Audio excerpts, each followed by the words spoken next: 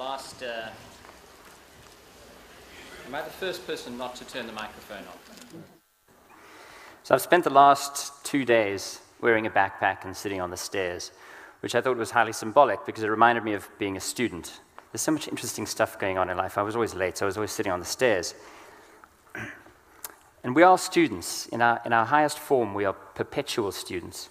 But it was also symbolic because I spent quite a large portion of my life being a fire hazard, and uh, I suspect that's the real reason why we're not supposed to sit on the stairs. Um, I don't know what life is all about, but I do know that we all have this deep rooted need for meaning. And uh, I think whatever you're doing in life, you can, find, you can find a way to make it important by finding a way to be part of something that truly has meaning. Um, I, I, love the story of a, of a dad who was, who was asking his kid to do some dish, dishes or something, and the, the kid was giving him some grief. And he said, You know, when Abraham Lincoln was your age, he had to go out into the freezing snow and chop wood and bring it back and make a fire to keep his family alive. To which the kid said, Well, Dad, when Abraham Lincoln was your age, he was president. Life. Life is fundamentally short, and I think it's shorter than any of us can actually realize. And so, so the, the only thing that I really live by is this idea that one should make no small plans. You should always be focused on something that, is, that you think potentially could be part of something meaningful, something, something beautiful. And I've been very lucky to be part of a couple of things. I really loved Nellie Benn's uh, sort of portrayal of the, the Soyuz experience, and, and around that, the whole sort of experience of, of life in, uh, as a cosmonaut or as an astronaut. My own experience was a little grittier. It was a little bit more like this um, and, and less with the bunny suit. But it was, um, it was an incredible thing to be part of, part of a, a training environment which had actually brought space travel to the world. But that's not the project I want to talk about. I want to talk about another thing, which is Ubuntu. Not the state of being or the state of relationship, although we named it after that. This is a this is a software project. And at, at heart, it's all about a phenomenon called open source. And open source is like Wikipedia for software. It's about bringing together the world's experts, the world's most passionate experts, people who um, are really intrigued by how things work and also um, anxious to bring some of that expertise to the rest of the world. And these thousands of people all around the world collaborate to make extraordinary tools.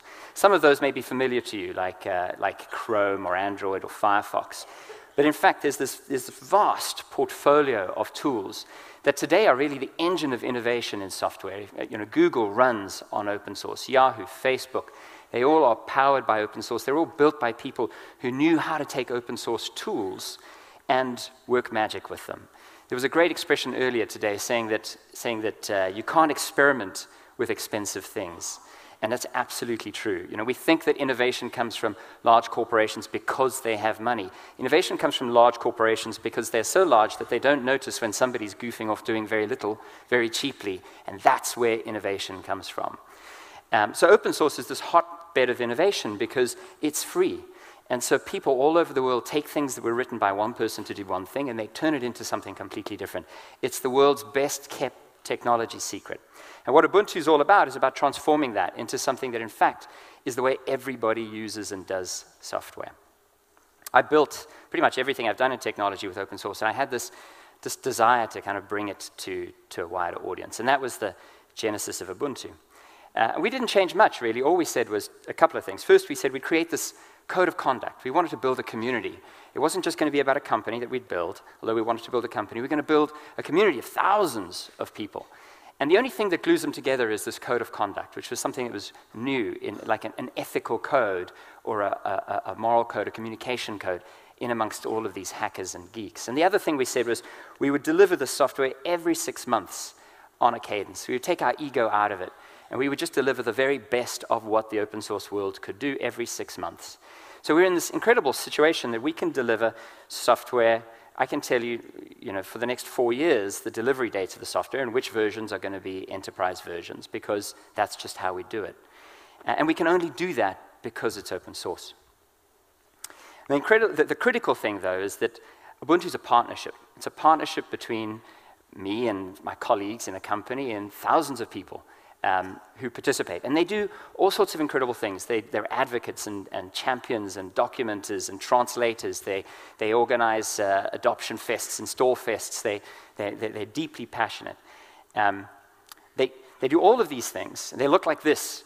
Um, you know, some of them are guys who've been around working with computers since computers would have filled this room. Um, they look like this.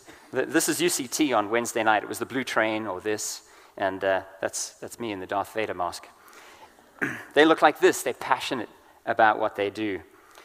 Scarily, sometimes they look like this. But what they don't look like, typically,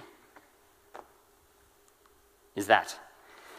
Until we showed up, until we started to get passionate about design, design was virtually not existent, in, non-existent in the open source world. And as a result, we produced a series of releases of Ubuntu every six months, um, all of which looked a little bit like this. And when we talked to people about it, they said it was reliable, it was, it was safe, it was um, uh, useful, it was easy, generally, except sometimes it was a little bit awkward. But often they said it was ugly. And it became clear to me that if we wanted to, if we wanted to, to really achieve the dream of bringing this free software to, to a much wider audience, we'd have to transform things. We'd have to inject, we'd have to inject design, but not just inject design as something on the side. We'd have to actually make it part of the fabric of the way the open source community does their stuff. Um, so it was going to be about design, but it was also going to be about leadership.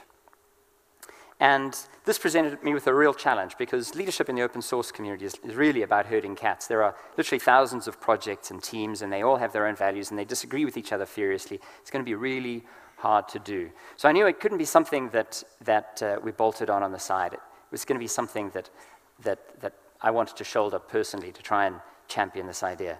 So at the time, I was the, the sort of CEO and founder of the company that was at the heart of, of Ubuntu, and I used to wear suits quite a lot.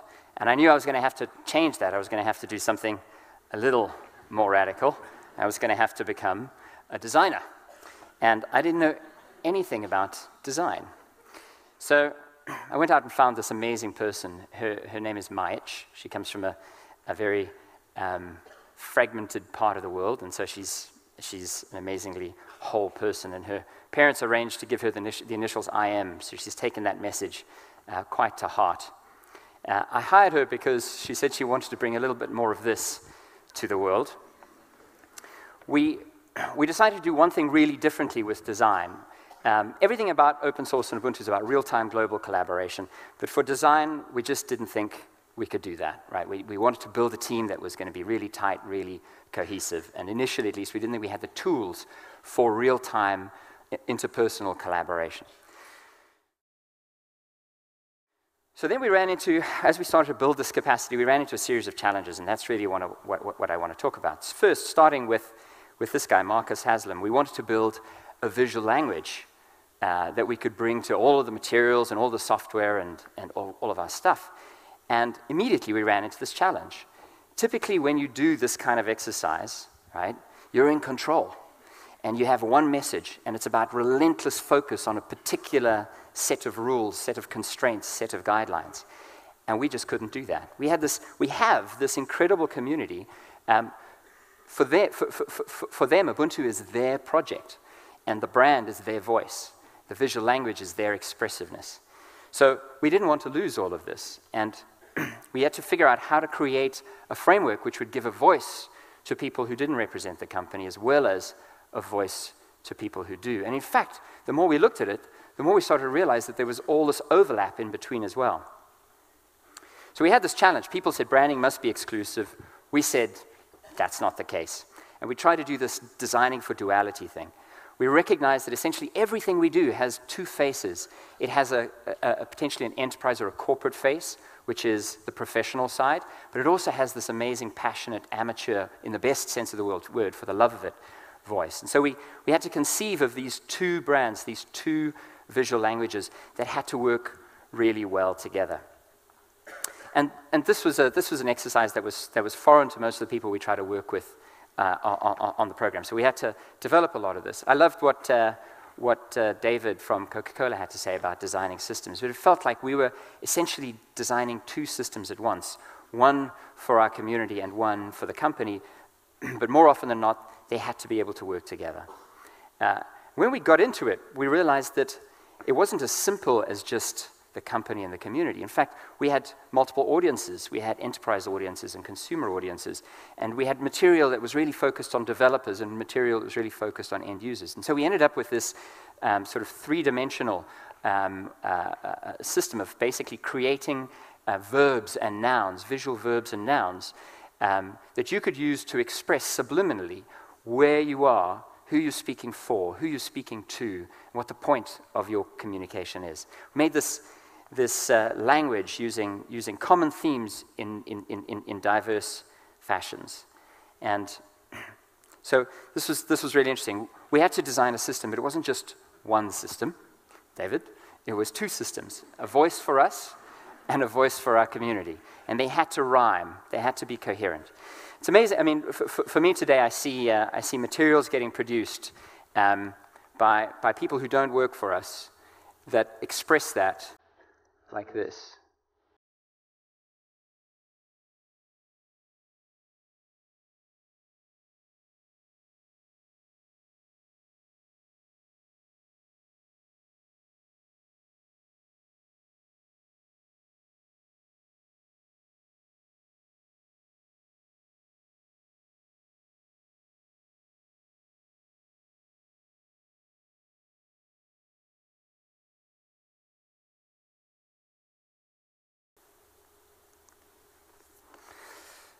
So that took us, uh, that took us a, a, a, year or so to, to understand and then to, to express.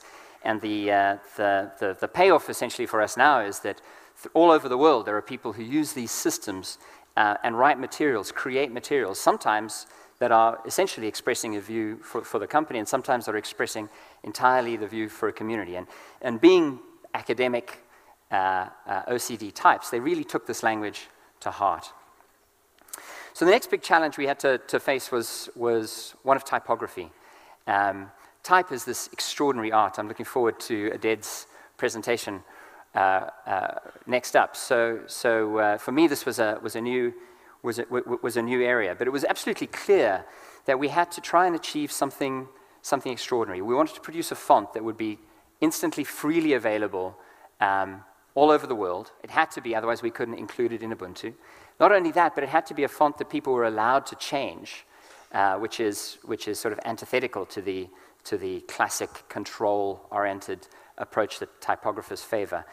And it needed to be something that, uh, that, that, that, expressed our values and personality, but it also needed to be something that worked really well in an interface. In an interface, you, uh, you, you're looking at it all day, every day. You're making critical split, split second decisions based on what you read. Your willingness to read at all um, is, is uh, to a certain extent determined by the type. So this was a really interesting challenge. I didn't, I didn't think at first that we would be able to produce one font that we used in all of our communications, our brand, but also in, uh, in the interface.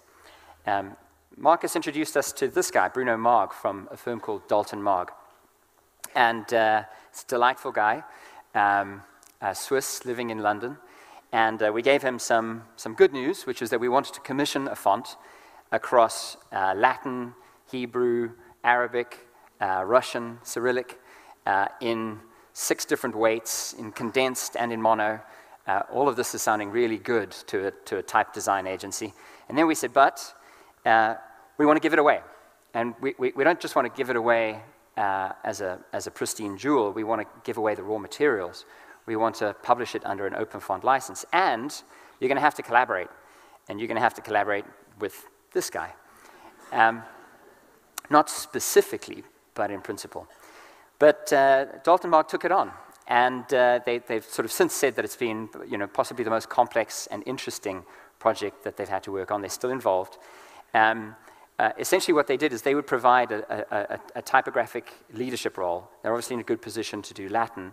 Um, but then as we extend out to the other language groups, what we do is we engage with the community um, who provide us with the most extraordinary feedback. And it's kind of incredible when you work in this way because you'll get some feedback that is unbelievably detailed. You know, uh, people saying that the um, Romanian Unicode glyph is actually incorrectly expressed in the standard because it needs to be this way because in Windows it breaks when you do that in a DOS application.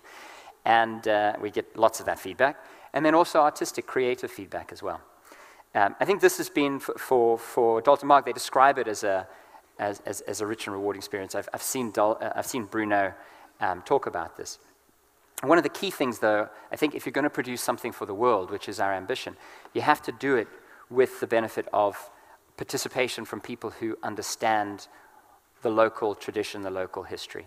Uh, we're far from done. We're going to have to do Chinese. That's probably the next major step. Um, but we have the, the, the, core of it in the interface today. The last version of Ubuntu shipped with it. Um, and being an open source font, it's, it's, it's done all sorts of amazing things. It was the first operating system to ship with support for a whole bunch of new currency symbols. Um, being a live thing with literally hundreds of people working on it, it, it, it, it can be dynamic and uh, um, uh, diverse at the same time, while still keeping, keeping true to its heritage. Um, we published it uh, through Google. Google has started this web font directory. Google essentially want to make it possible for people to use all of these open fonts. Uh, and, uh, and just in the space of sort of two months, we bumped up to number five in terms of the way Google tracks the usage of font on the web. Because being, being an interface-oriented font, obviously in lots of languages, it's, uh, it's really useful for people who are, who are sort of building websites. And it's so trivial now. It's just li literally two lines of CSS, and you can pull the font into your website from Google uh, and, uh, and, and, and just use it instantly free of charge. Um, and that, for me, really captured what, what was both the spirit of Ubuntu, the spirit of open source, and, and the opportunity to work with great designers.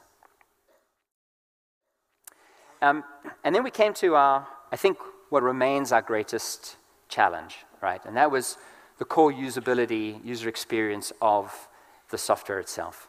And our vision ultimately is to, is to have a set of experiences which, are, which, which you can move smoothly from one to the next. There's a phone that Motorola just um, uh, launched, which is a, a touch phone, uh, but you can dock it. You can dock it into sort of what looks like a laptop, but it's a laptop without a computer in it. When you dock the phone, the phone becomes a computer, and suddenly you get a desktop. It just so happens that that desktop is Ubuntu. Um, and I think that's a vision of the future. I think people are going to carry their computing around with them, which means we need to get to the point where one device, one interface can essentially cover, um, cover a, a variety of form factors. Now, each of those form factors, of course, has its own truth, has its own inherent nature. And if you, if you, if you, veer, if you don't respect that, then, then you're not going to produce something great for that. Um, uh, but there needs to be a coherency, cohesiveness around all of these. I think this is the greatest opportunity in, in handheld or desktop computing today because whoever gets this right is really going to define what people use for the next 10 or 20 years. So we had a problem. We were starting with something which was absolutely functional, uh, super reliable, doesn't get viruses, it's being used by literally tens of millions of people, um, but it had very little um, had, had, had had the benefit of very little sort of real design expertise. They're also a small team, so we had to sort of figure out where we could make changes at any given time. And we had to plan those changes. We make this, these releases every six months. So one of our guys describes this as not just art, but performance art. You know, we may have a two-year vision, a grand vision of where we want to get to, but every six months, the curtain will open, and we don't want to be caught naked on the stage. So every six months, we have to deliver a, a, a useful piece towards that, that, that grand vision. And, and, and I'll give you a taste of some of the things that we've done. We've got a very long way to go, but uh, it's, it's amazing how it's speeding up as this meme flows. So this is kind of roughly where we started, and, and one of the first things we wanted to do is we wanted to focus on, on um, we, we, we, did a lot of research on how people were using computers, and they said that they found them kind of, they found them a lot of work. They found them uh, um, busy uh, They found it hard to focus, but at the same time, they wanted to be uh, plugged in everywhere. Um, you know, this is a, this is a real-time sort of era. Uh, and we became fascinated with this idea of this tension between focus and awareness. On the one hand, you want to be concentrating on something. It's appalling to feel like you get to the end of the day and, and it just disappeared, right? You want at any given time to be able to completely immerse yourself in something. At the same time, you want to be aware of what's going on around you. And Zen Buddhists have this term, ayatana, um, which is, as I understand it, the, the, your awareness of your environment while you're meditating on a particular thing. And obviously, you don't want the awareness to intrude, to break your focus, but you, you don't want to lose track of what's, what's going on around you. And so we, we embrace this idea of ayatana and just and try to you know, bang on the whole interface from that perspective. So, starting with the, the sort of peripheral awareness piece, um, that toolbar gives you a lot of status information. We looked at how people were um, using that in Ubuntu, and they were just cramming all sorts of stuff in there. This had been designed by engineers, and they wanted you to be able to do anything and everything, so people were. Um, and that meant that the thing was, was, uh, was amazingly functional, but essentially unpredictable and, and unusable. You had no idea what would happen if you clicked or right clicked or hovered or did anything over any of those things, or how they would behave. There were no commonalities, no patterns. So we said, fine, we would strip this down to its, to its, uh, to its base, uh, base elements. Um, the, the, the, the, first thing we wanted to do was to, to make sure that any information that was being communicated there was immediately apparent. So we said, okay, everything will go to, to monochrome, except for some specific uses of color which have very specific meanings. We took some inspiration from the research that's been done in, in how cockpits are designed.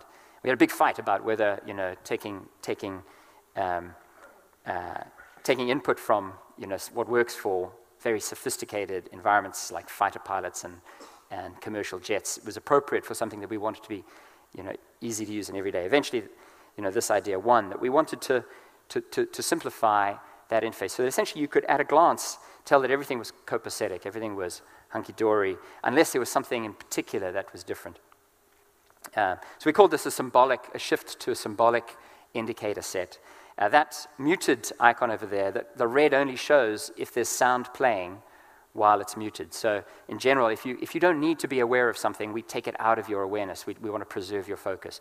If there's some sort of conflict or tension or problem, then we make, uh, we make you aware of that. So this is saying essentially you need to, you need to do a restart, uh, you're muted and the sound is playing, and someone has sent a message to you. Um, the other problem we, we noticed is that every application wanted to have wanted to claim that space. And those of you who are familiar with other operating systems will know that you get this, you install an application and suddenly it wants to take space on your toolbar. And, uh, and that results in a lot of clutter. It starts to break the clarity of the messaging there. So we came up with this idea that, that essentially we would try to organize categories of indicators and we would encourage applications to embed themselves in that and only surface the pieces of state that were relevant. So for example, here in the sound indicator, we designed the ability for applications, music playing applications, to embed themselves in there. And so you can always get to control your sound through there. You don't have to go to the application. Um, but you also don't end up with multiple sound uh, or media playing things in the panel. Um, people today use multiple, have multiple pieces of software they play, play, music. They may have iTunes, they may have Spotify, they may be on Last.fm. And we wanted to be able to consolidate and distill that down to its essence. So we built it we built it for the core music player in Ubuntu, and then this amazing open source process happened, and, and, and the Clementine guys did it, and then the Spotify guys did it, and so suddenly, you know, it just, it just worked. We wanted to do the same thing for messaging. So essentially, there's one core concept, and that is that you know someone's trying to reach you, and it's someone that that that that, that you consider important or it's unusual. So, so symbolically, you see that, and then as you dive into that experience, you can see who, where, what, and how. So the idea is you can come back to your computer and you don't have tons of things that have stacked up and popped up on your window. You just have this one clear, clean statement that something's going on. Another, another part of this whole awareness thing is, is interruptions, notifications, events. Um, and uh, um, some of you may be familiar with this, or my favorite one, this.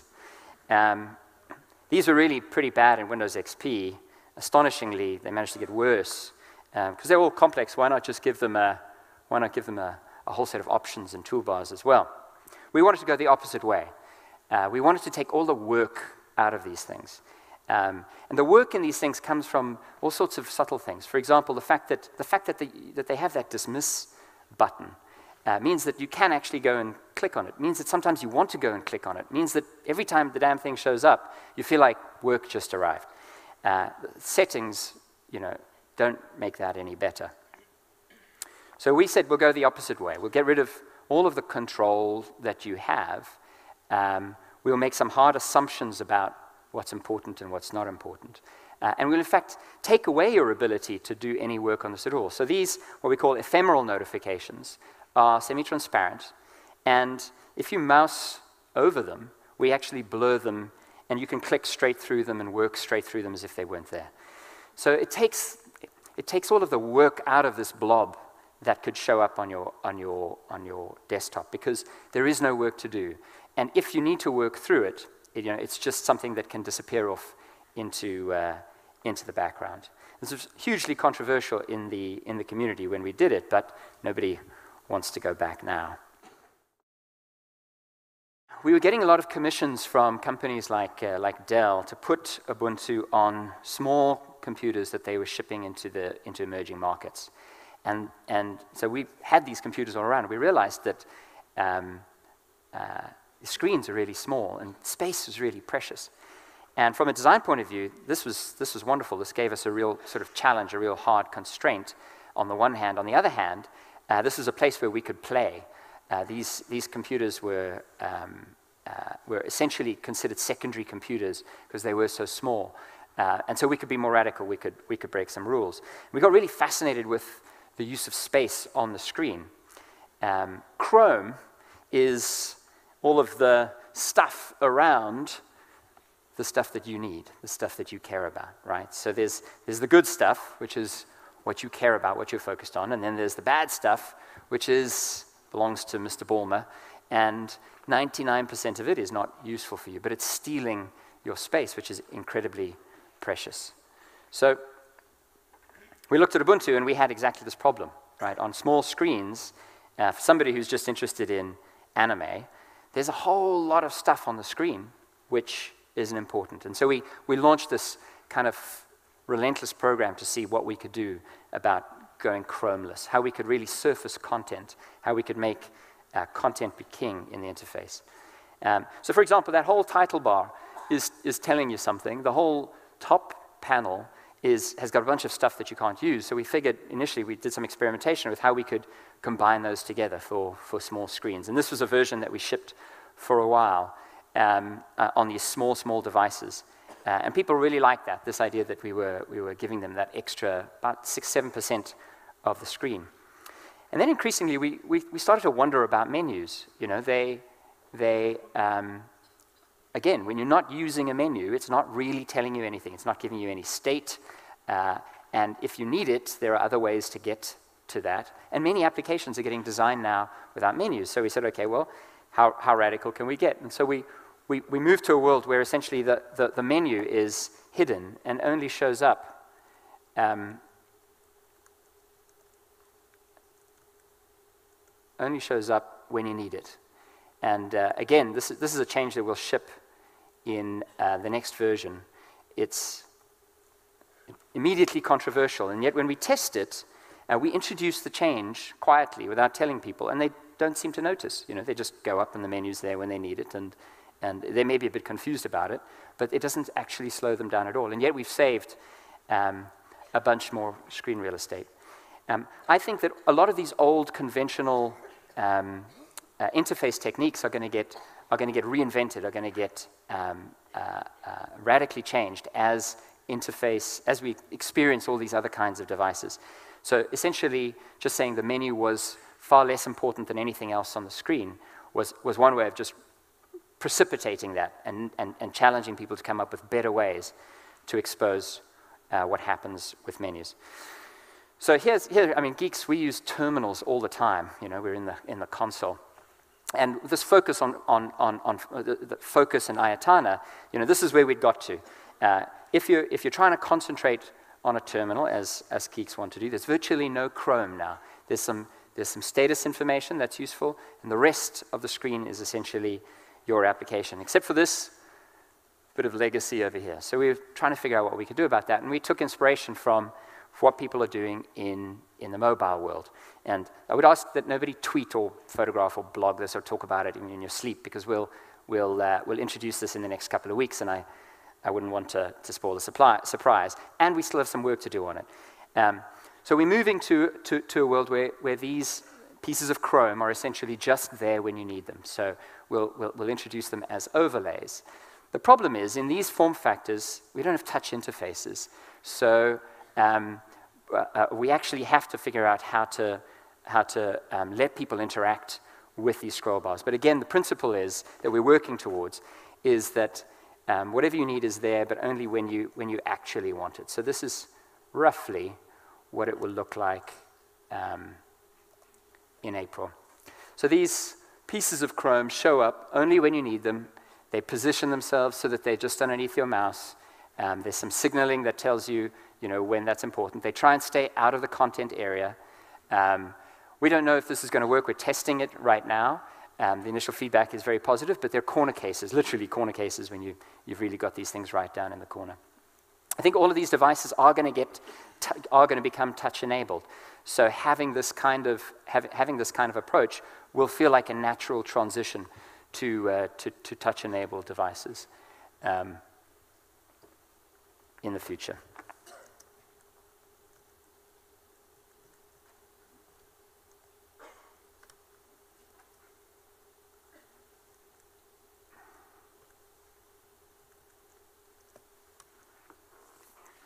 Another thing that we wanted to do was we wanted to take inspiration from devices. Um, you know, people spend a lot of time in front of PlayStations and, and, and, and, mobile devices today. And the desktop, by comparison, feels kind of legacy, feels kind of old. You know, things happen inside Windows, and you've got to do a lot of work with the Windows. But a lot of things that happen inside Windows are essentially taking over the system. So we said, okay, we'll, we'll, we'll introduce a PlayStation-like feel to some of those experiences. Um, we introduced this launcher, which, is, which, which has some specific behaviors um, in it so that, so that it's, it, it's touch friendly. Um, it has these kind of accordion type behaviors. Um, and, and, we, and we introduced some sort of full screen behaviors, particularly for things that we think uh, are going to change in, in the interface. So, for example, finding files. Uh, it's amazing when you watch people use computers uh, uh, all of us, you know, we'll, we'll get something from, something gets emailed to us and we'll save it somewhere and then we'll want to send it to a friend and we'll try and open it and we have no idea where we put it. And uh, I used to read that kind of report and think, aha, you know, users. Uh, and then I find myself doing it. And the truth is, we're just crap with files and folders, so they've got to go. And uh, this is a start to a better kind of interface, essentially just saying, if you're looking for something, we can, we, we, we, we're going to anticipate what you're looking for and very quickly help you converge on where you're going. So we introduced this kind of full screen experience. Um, interestingly, about six months after we did this, Apple introduced their App Store with a very similar presentation, a full screen kind of experience showing, showing you these are all the apps in your device. So, so hopefully we can stay just one small step ahead even while we catch up on all of the cruft we have in the background. So this gets challenging. We ship that interface actually on, for, for smaller screens. On large screens, we have this problem that, that, that going full screen is really, uh, can, be, can be heavy on a 30-inch monitor. So again, playing with variations on that theme, keeping the device-like feel, but, but moving to something just a little more, um, a, a little more lightweight for, for large machines. And a key idea for us is that search should be your primary interface for everything. You know, you should never be hunting for something. Just say what you want. Um, the, the IBM uh, Watson Jeopardy gig, where they had a computer essentially that could understand questions and respond with general knowledge answers uh, better than experts in that game, uh, is sort of a harbinger of the future. In 20 years' time, your phone will do that. So, uh, and maybe sooner, because your phone just has to be the conduit, right? It doesn't actually have to have all of the compute. Um, so search is one step towards really a spoken interface. And so this is a big theme for us. We're trying to introduce search everywhere so that you, you, you can very quickly switch or jump or, or, or find whatever it is that you're looking for. So in conclusion, a couple of things. First, it's a big invitation. You know, there's this enormous community of, of crazy, smart, difficult, sometimes passionate people, and they desperately need design love.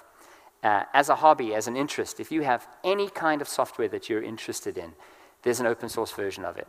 Go and find it, introduce yourselves. These guys do amazing thing, things over mailing lists in, this, in, in their spare time. And the difference that you can make just by saying, well, let's look at this a little bit differently. Let's challenge, let's challenge the development teams. is extraordinary. The, the thing that I'm most excited about so far is not that we've been able to do this stuff in Ubuntu, but that I see teams outside of Ubuntu starting to embrace this and wanting to work with designers.